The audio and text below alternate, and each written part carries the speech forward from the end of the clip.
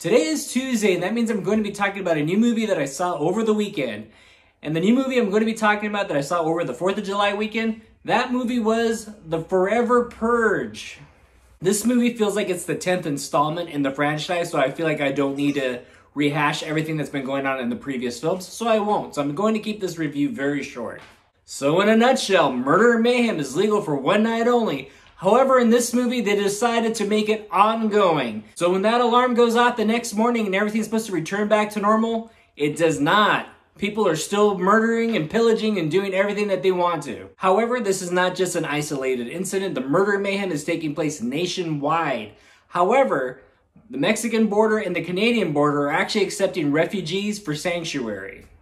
Good thing our main characters are in Texas because they decided to make a run to the Mexican border for sanctuary.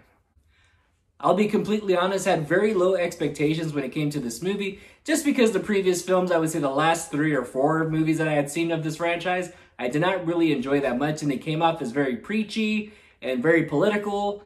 However, I was pleasantly surprised. The movie was very political, however, it wasn't overly preachy. It wasn't on the nose on everything, so I did enjoy that, and I didn't feel like I was being lectured the whole time while watching the movie.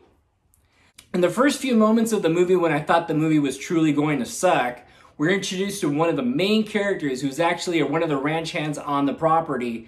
And I really thought the movie was going to suck because there was a cheesy moment with the music and someone announces from across the way, they say, that's a real cowboy right there. And all of a sudden he lowers his hat and hear that when I heard that, I was like, I started chuckling really loud, and I think I was the only one in the audience chuckling really loud at that part. However, the movie made up for it because I felt like the main characters of the film were actually likable characters, and they were portrayed very well.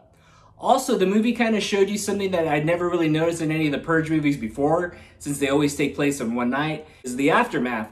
We actually get to see someone walking to work the very next day we get to see blood on the floor, we get to see broken glass, bullets, dead bodies, and blood splatter all over the walls. And we actually get to see like the news reports talking about the cleanup and how they're to do with all the waste and everything. So I actually thought that part was very cool because that was actually something I was always very curious about.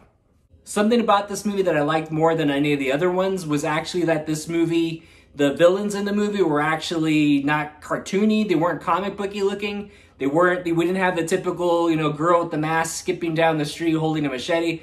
They kind of cut that out. It was actually more realistic looking. You still had people in masks, however, they weren't very overly decorated or anything. They weren't any super theatrics or anything going with it. It was actually a little more realistic. It kind of reminded me of something you would see like in a Mad Max film.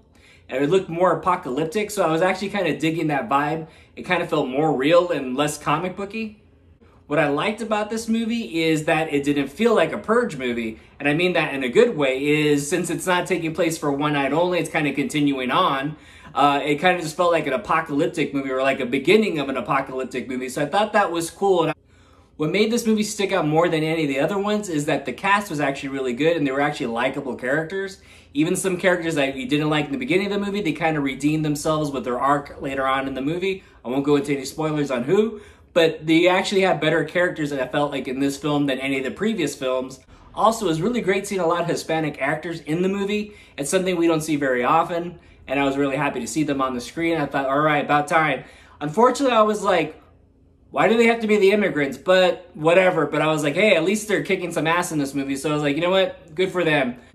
Ana de la Reguera's character I thought was very cool, and I felt like her character made up way for more than what she did in Army of the Dead. I thought her character was very cool and actually a lot more interesting, and I had a bigger backstory. Unfortunately, we don't get really much of that backstory, but I was like, hey, she definitely redeemed herself in this movie compared to what she did in Army of the Dead. So I was like, good for her, good job. As far as negatives go about this movie, you know, it's still political. It's not in your face like as the previous installments were. Uh, so I did appreciate that. It was still political, but like I said, it's not in your face the whole time. Someone's not yelling at you through the entire movie.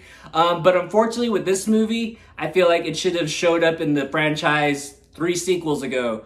Uh, unfortunately, it came way too late in the series. So as far as another negative about this movie, since it's so late in the series and so late in the franchise, the suspense and the whole buildup, unfortunately, it's not there because we're already desensitized with these movies, so it's already came in here way too late. So everything that's supposed to be suspenseful is not that suspenseful. While watching this movie and the subject matter, could not stop thinking about another movie that had a lot more suspense, less of a budget, and a way smaller cast, and that movie was Desierto. As far as suspense goes and the subject matter, that movie has it for sure. Supposedly, this is the last entry of the franchise. I don't see that really happening. But while watching this movie now, I was thinking if this is the last one, this franchise has missed out on so many opportunities. I was thinking, I was like, why hasn't there been a movie about like someone that doesn't have a home? Why not have a, uh, a, Purge movie about someone that's homeless and they have nowhere to go, they have nowhere to turn to, and they're stuck in the street during the Purge night? I was like, why hasn't that happened yet, or has it? I don't know. Do you need to see this movie in the theater? Probably not. You can even rent this movie and still get a kick out of it. It's an action-packed movie with not a whole lot of suspense, but it's pretty entertaining. And like I said, it's politicalized, but it's not overly political like the previous installments were. So I would definitely check it out as a rental if you wanted to, or if you get a cheap matinee, I would check it out that way too. Regal has uh, cheap discounts on Sundays for Regal members. AMC, they have cheap Tuesdays. So if you want to see it in the theater, see it on any of those theaters if you're a Regal or AMC stubs holder.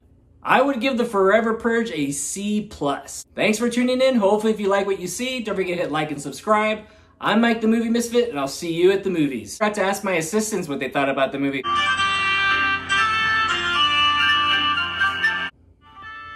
Okay, they could care less, whatever. I'll see you at the movies. Get more out of life. Go out to a movie.